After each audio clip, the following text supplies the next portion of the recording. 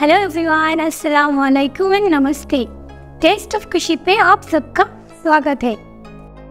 आज हम बनाएँगे डिलीशियस यमी सूजी कटली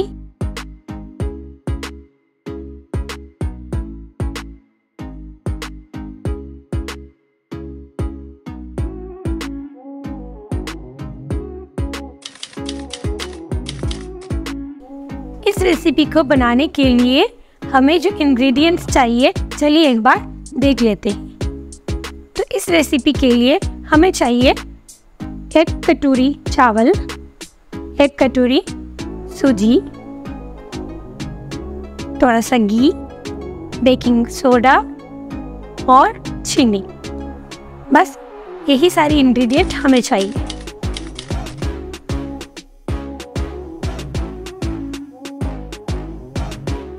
गैस की फ्लेम को ऑन कर देंगे और एक पैन में सूजी को फ्राई करेंगे।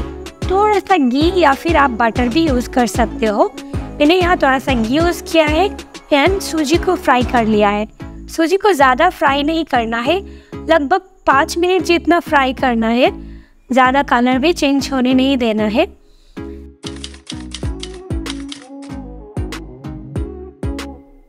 खाने के बाद जो चावल बच जाता है, उसी चावल से आप ये यमी डिलीशियस डेजर्ट बना सकते हो।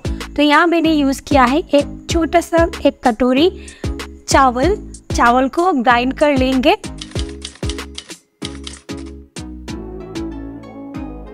चावल की जो बैटर हमने बनाया है, उसी के साथ सूजी को डाल देंगे और धीरे धीरे थोड़ा सा पानी ऐड करेंगे। तो जैसे आप यहाँ देख सकते हो, हमारी सूजी और चावल की जो बैटर वो बन के तैयार हो चुकी है। तो कंसिस्टेंसी आप देख सकते हो, ज़्यादा थिक भी नहीं और एकदम पतला भी नहीं। उसके बाद इन सारी चीज़ों को एक साथ अच्छी से मिला लेंगे। उसे 20 मिनट्स के लिए छोड़ देंगे।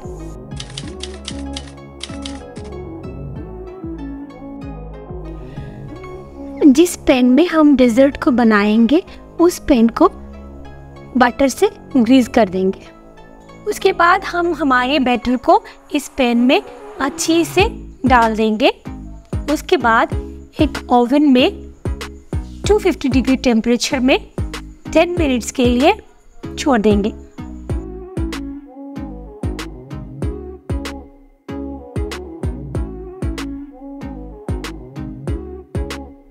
अब जिस पैन में हम ये डेजर्ट बनाएँगे, उस पैन में घी या बटर अब अच्छी तरह से लगा लें।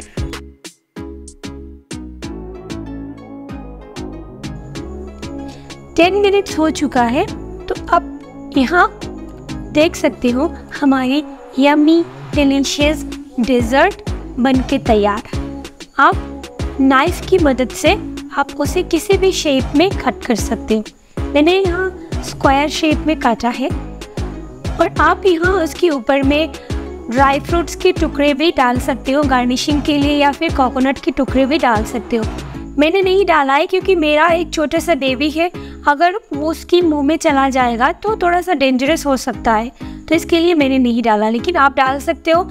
अगर आप डालेंगे ड्राई फ्रूट्स या कोकोनट तो ये खाने में और भी ज़्यादा स्वादिष्ट लगेगा।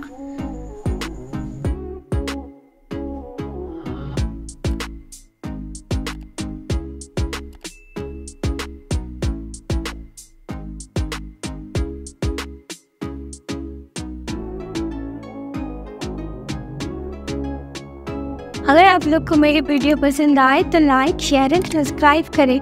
Thank you